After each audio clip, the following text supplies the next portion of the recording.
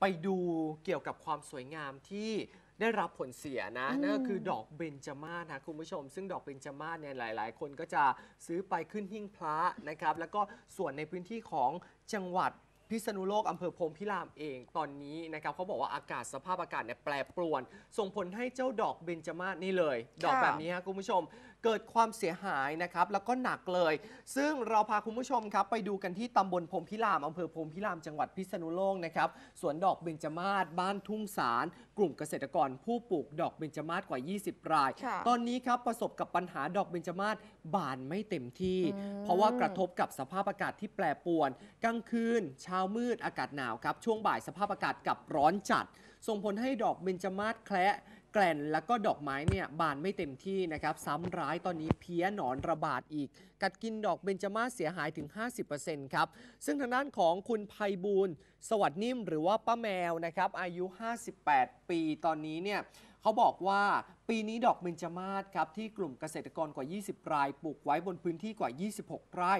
เริ่มออกดอกบานสะพรั่ง ให้พอเก็บดอกได้ครับส่งขายได้ เพียงแต่ในปีนี้ประสบกับปัญหาดอกเบญจมาศแคลแกนนะครับเพราะว่าสภาพอากาศแปรปรวนช่วงกลางคืนเช้ามืด เรียกได้ว่าแถวนี้อากาศหนาวมากๆ แต่ว่าพอช่วงเที่ยงเที่ยงๆบ่ายอากาศร้อนจัด ร้อนแห้งนะทำให้ดอกบินจมาศแคลแกรนดอกบานไม่เต็มที่สำหรับปีนี้ ทุ่งดอกบินจมาศยังต้องเผชิญกับหนอนรังหนอนเขียวนะครับหนอนหนังเหนียวแล้วก็ หลายอีกหลายอย่างเลยฮะคุณผู้ชมครับ กัดกินดอกเสียหายไปถึง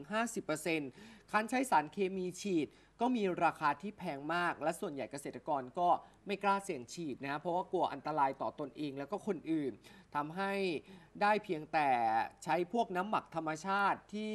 ก็ต้องบอกเลยฮะว่าเอาไม่อยู่จริง ๆ ต้องปล่อยเสียหายยืนต้นตายตามเขาเรียกว่ายถากรรมนะครับ ซึ่งคุณภัยบูลสวัสดิ์นิ่มเนี่ยบอกต่ออีกนิดนึงบอกว่า